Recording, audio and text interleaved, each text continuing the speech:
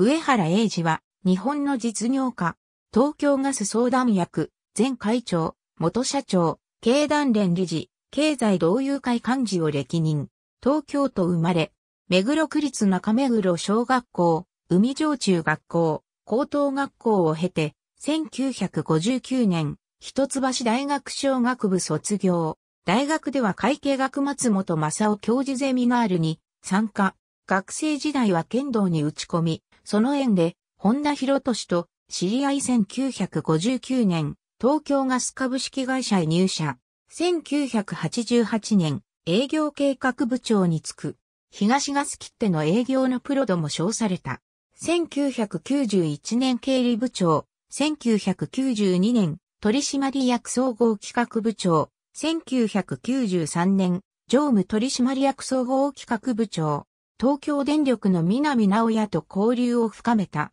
1995年代表取締役専務、取締役、1996年代表取締役専務、取締役事業開発本部長。設備投資が膨らみ借入金が増大する中、あえてガス料金の値下げに踏み切り、経営合理化、効率化の陣頭指揮を取った。1998年代表取締役副社長、1999年、代表取締役社長、2003年代表権、取締役副会長、2006年、代表取締役会長、2007年から取締役相談役、元東京ガス代表取締役社長、2006年から社団法人日本ガス協会副会長、社団法人日本経済団体連合会理事、社団法人経済同友会幹事、社団法人企業研究会副会長、国立大学法人一橋大学、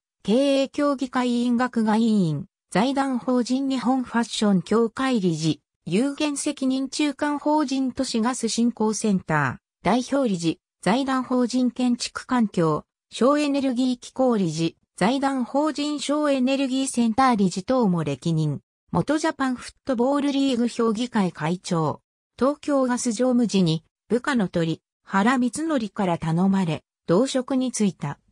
1993年、東京スタジアム建設が決定し、東京ガスサッカー部の J リーグ参入を期待する声も上がったが、上原は現時点での参入は請求であるとして、サッカー部の部長だった鳥原らを諌め、地域での足固めを説いた。旧 JFL 内で東京ガスが力をつけ、また J リーグ2部制導入が決まった1997年からは、鳥原と共に、社の方針を固めると同時に、地期の南が副社長を務める東京電力をはじめとして参観へ、同クラブへの助力を働きかけ、プロ化に貢献した。インタビュー上原英二、東京ガス社長叩き合いではお客様不在。競争と協調だエコノミスト792001.3ありがとうございます。